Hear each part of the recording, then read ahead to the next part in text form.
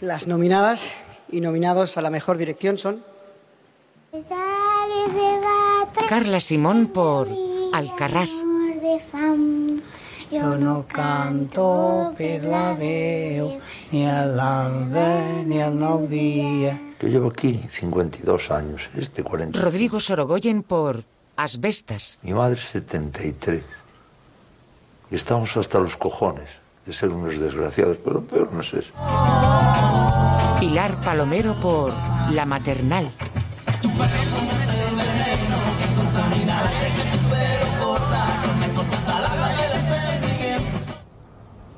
Carlos Bermud por Mantícora.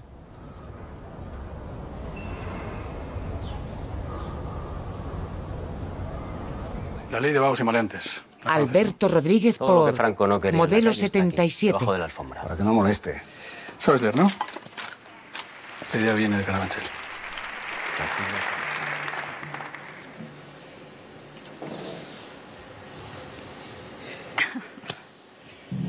Y el Goya es para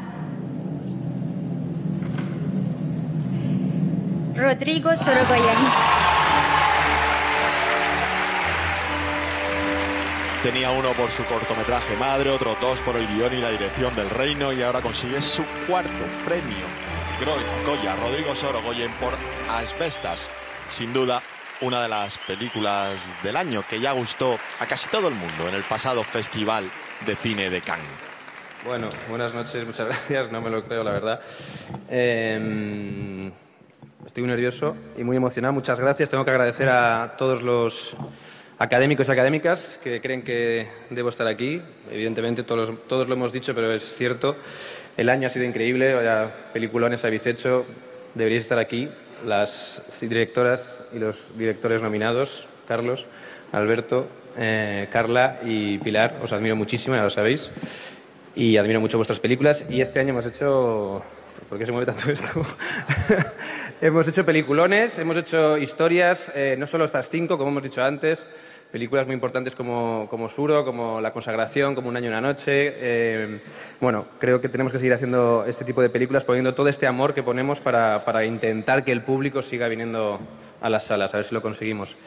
Luego tengo que agradecer, por supuesto, mm, Bueno, pensaba que ser un buen director supongo que es, aparte de fijarse en Carlos Saura todo el rato, eh, ser un buen director creo que es eh, rodearse del mejor equipo posible y yo lo he hecho, ese es el único mérito que tengo.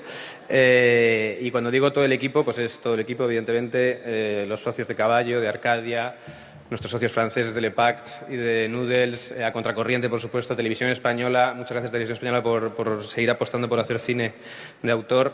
Em, el equipo técnico, que ya hemos dicho que se, que se mataba a trabajar, que pasaba mucho frío. El equipo artístico, con, con estos cinco mejores actores del mundo, Marina, Denis, Luis, Diego y Magui. Ah, Magui está ahí. Eh, muchas gracias por vuestro talento. Eh, y luego se lo quiero agradecer también a la gente de, de donde fuimos a rodar, a la gente del Bierzo, a la gente de Villafranca, a la gente de Quintela, a la, a la gente de, de Barjas y sobre todo a los actores no profesionales que trabajaron en la película que nos, que nos regalaron pues, su entusiasmo y su humanidad y en especial a José Manuel Fernández Blanco, Pepiño, que nos estará viendo desde arriba. Después de, eh, por último, ¿está siendo muy largo o no? Vale. Por último, y por último, una reivindicación. A ver si me.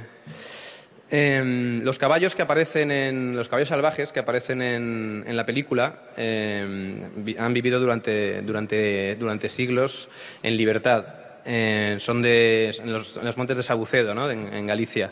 Y la gente de Sabucedo nos ha enseñado a, bueno, a amar la fauna y la flora, los animales, de una manera que yo no había visto nunca. Pues en esa zona están eh, proyectando eh, cuatro parques eólicos gigantescos, la verdad, que son un, bueno, pues un perjuicio para la fauna y la flora irreparable. Entonces, nada, todo mi apoyo al pueblo de Sabucedo por su defensa de los caballos y de sus montes. Gracias.